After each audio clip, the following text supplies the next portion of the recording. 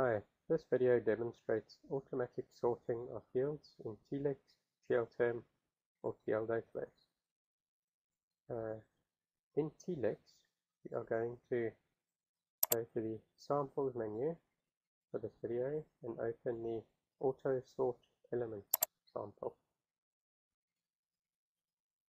In this sample, we have a dictionary with many sub-entries and uh, we assume what we want to do is sort all of these sub-entries automatically.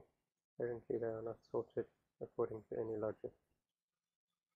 Uh, of course in a real dictionary you would have many thousands of these. In our sample we only have a few.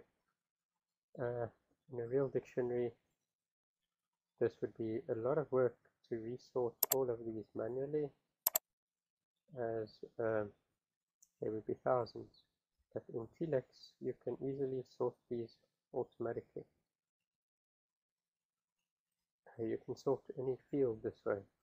To do this, we go to the following. We go to the Tools menu and select Auto Sort Elements. In this dialog, we firstly enter the name of the element that we want to sort, the name of the field, and that is obviously the sub-entry. Uh, and then secondly, we enter the, the attribute of that element, in other words, the field within the sub-entry on which we wish to sort by, and in that case it is the lemma sign of the sub-entry. Uh, these must be spelled exactly as they appear in attributes F1. Uh, for this sample, it doesn't matter what these two fields can be anything. I will then click OK.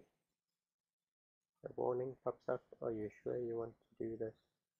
In a real dictionary, of course, make sure you've made a backup and that you uh, or just testing this in a separate file. Um, to click yes. Uh, just a little bit of information pops up here on our it took.